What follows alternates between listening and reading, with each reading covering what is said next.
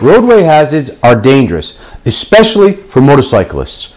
Roadway hazards are dangerous for all who drive, but they are especially dangerous for motorcyclists who are less protected than drivers of passenger vehicles. Hi, I'm personal injury attorney Mike Lombardi. Motorcyclists are particularly vulnerable in an accident, so it is very important that they know what hazards are out there and how to avoid them.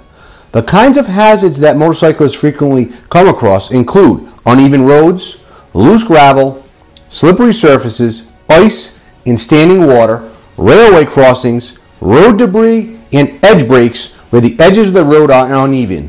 Follow these tips to avoid a motorcycle accident when road hazards are present. Slow down.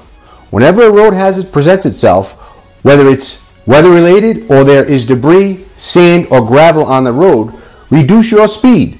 Avoid areas on the road where slick substances have pooled and when braking. Brake as slowly as possible. The slower you go, the better you can maintain control over your bike. If you anticipate road hazards, you will be able to react quickly when there is one, which is vital for successful maneuvering on poor road conditions. An aware driver can see a hazard ahead and act fast to avoid it.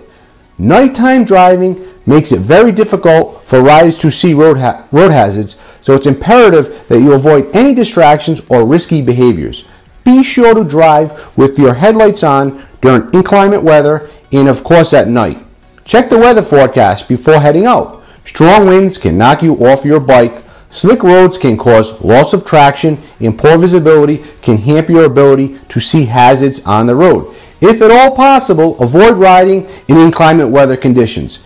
Be sure to leave enough space between you and other drivers so you will have enough room to take quick, evasive action to avoid a road hazard. If you follow these safety tips, you can be successful in avoiding hazards on the road. Unfortunately, accidents do happen even if you do everything right.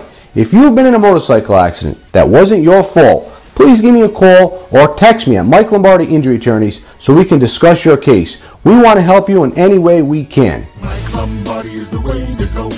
Mike Lombardi is the way